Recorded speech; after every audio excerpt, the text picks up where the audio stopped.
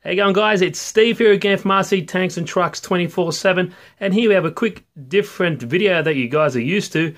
At the moment I'm using my old Note 3 to film this because this puppy you see right in front of you is what I normally film with but this video is regarding this camera. Now this is the Panasonic FZ1000. Fantastic camera, I use it for all my videos, indoor, outdoor, slow motion shots, you name it. It's fantastic, it does great video and it does pictures.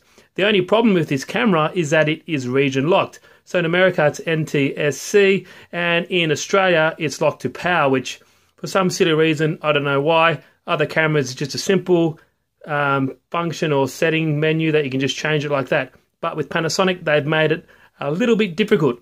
And as of today, I wasn't aware that, you know, I thought it couldn't be changed. I've looked various forums and stuff like that, but it can be, and I will show you how to do that. Alrighty, now I couldn't find specific instructions for the FZ1000, but I did find ones for the G7, Panasonic G7, uh, sorry, which worked perfectly fine for this camera as well. So as you can see, I'll just show you what I'm dealing with here because I'm from Australia. And if I go to video, record quality, as you can see, it's 50p, 25p, and if I go to, for example, slow motion, it's only 100 frames per second. I want 30, 60, and 120. So I will show you what to do. Now as it's in IA mode, I want to put it in P mode and then turn it off. Simple so far.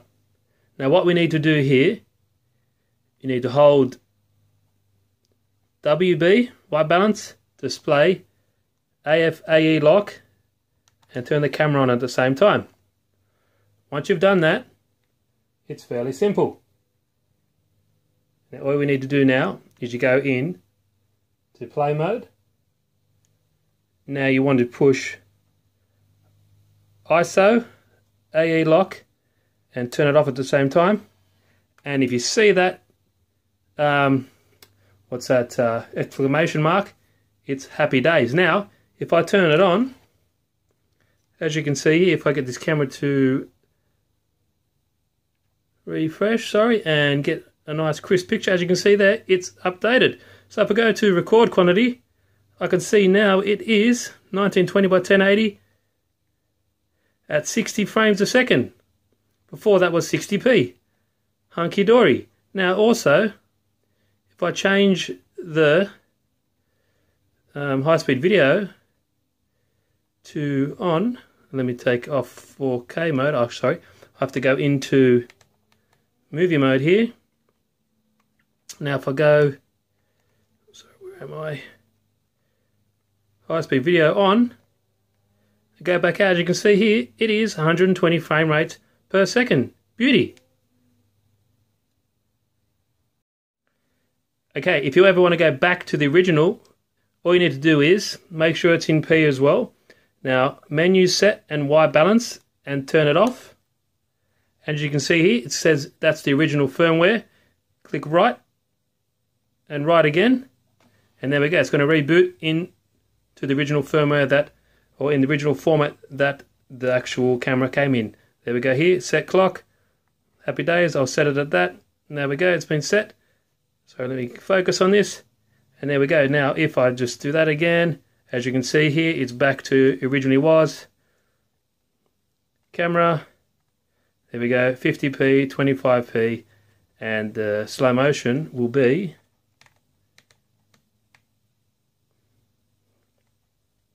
Um, there we go, camera.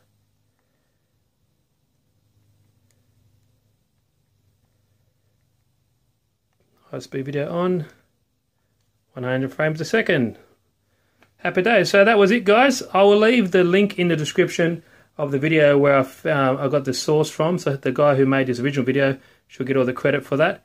Um, any questions, please leave them in the comment section down below do this at your own risk, guys. I'm not taking any responsibilities or anything like that if you brick your camera or anything like that.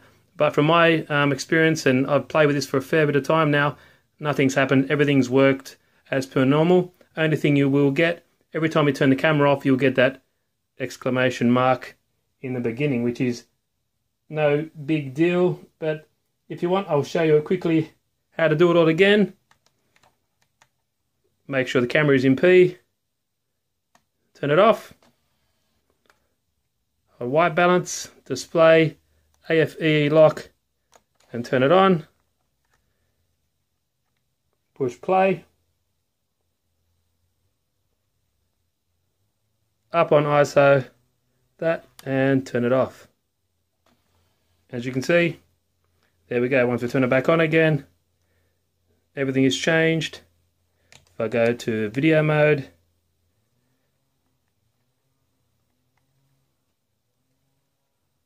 you can see high speed video if I turn that on, or oh, there you go, 60p. High speed video is off, but if I turn it on to movie mode, there we go, it's 120 frames a second. Happy days. So, only thing I noticed with this is when you turn it off, you will get this symbol, but that's no big deal. But that's fine by me, as long as I get those frame rates that I wanted when I purchased this awesome camera. So, like I said, any questions, please leave them down in the comment section below.